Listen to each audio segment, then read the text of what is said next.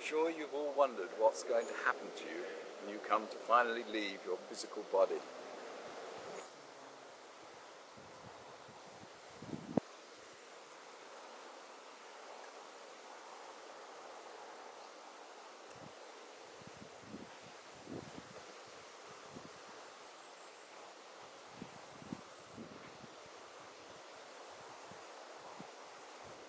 The following is a video clip of an interview with Dr. Elizabeth Kubler-Ross, one of the early researchers into the near-death experience, or NDE. It has a lot to say about this moment of transition that takes place when we finally come to leave the physical body. It is taken from a longer length video called Visions of Hope. The interviewer on this video is Tony Adams. Psychiatrist Elizabeth Kubler-Ross, internationally known for her pioneering work on death and dying, has heard the first-hand accounts of many of her patients and has herself had a near-death experience. Well, I've collected near-death experiences for many, many, many years, long before Moody's book came out and long before it was published, and very familiar words like near-death experience or out-of-body experience. And it was beautiful, and I knew that this is a reality. But to me, it's a big difference between believing 20,000 cases that you can repeat anywhere if you really want to, and between actually having the experience myself and knowing. And I say jokingly, my experience was more beautiful than all the 20,000 cases I collected. Once you have been in this light and seen this light and experienced this light at the end of the tunnel, symbolically speaking, it's such peace and such love that when you come back, it changes all your values, it changes the quality of your life, and they can hang you on your toenails and you still know that death does not really exist. It's just a transformation into a different form of life. You have an orthodox scientific background, despite what has happened to you since. How do you reconcile that scientific aspect of you with something like the near-death experience?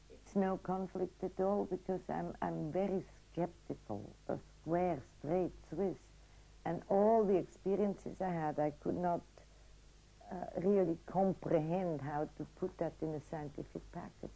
So what I did, very simple, is I tried to verify every aspect of it, like we are whole again when we leave our physical body. How can we be whole my Vietnam veterans have had three extremities amputated? How can they have all their extremities?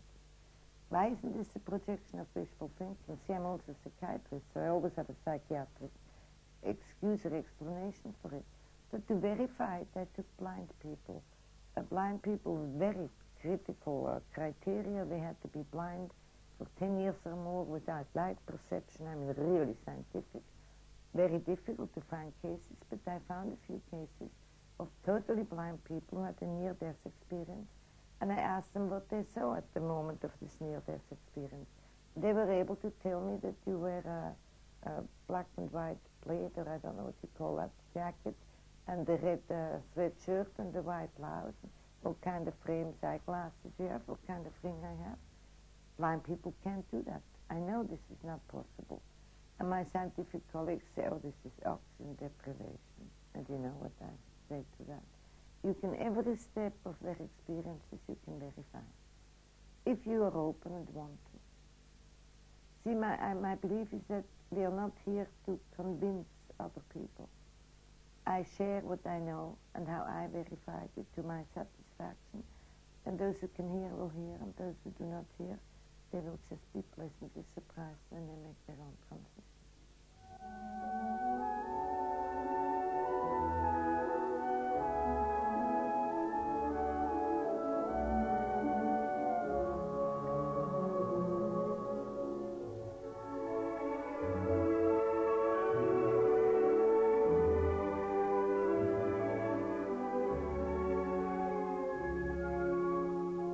The growing volume of research on the NDE seems to indicate that for those who've been close to it, death no longer holds any fear. For most, it's come to mean merely change.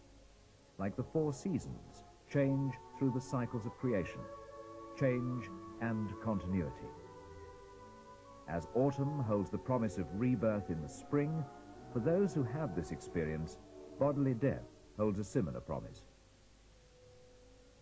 Universally, these glimpses seem to confirm man's greatest hope, that death is merely the shedding of the physical body, to allow the essential self to continue towards some other reality. By all accounts, a reality that is safe and loving, even though not quite within our comprehension. Personal accounts of the NDE seem to reach beyond the world of dreams and imagination. None of these people went looking for this experience. It came to each of them as a complete surprise. But in every case, it was transformative, giving the person a wider vision of humanity, of life as well as death. If you would like to have details of the full video, please contact the Spirit Release Forum, www.spiritrelease.org. That's www.spiritrelease.org